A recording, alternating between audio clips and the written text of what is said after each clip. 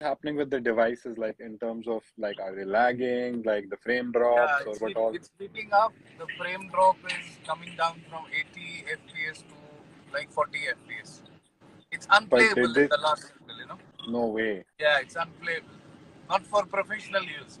मतलब अनप्लेएबल भी नहीं कह सकते हैं द थिंग इज लाइक कि ये गेमिंग के लिए नहीं बना है फोन ये वाला समझ रहे हो आप दैट इज द प्रॉब्लम और हर एक टीम को ये प्रॉब्लम है not just us it's to cause a lot of And a lot of teams are not feeling confident about how Yeah. they're going to perform, you know. हम report Hmm. करेंगे कि हमसे इस phone पे नहीं हो पाएगा क्योंकि ये रीजनल इवेंट नहीं है ना this is a major Yeah. Teams खेल नहीं पाएँगे तो what would you do Will not be able to show what their skills are actually. Yeah, that's true. But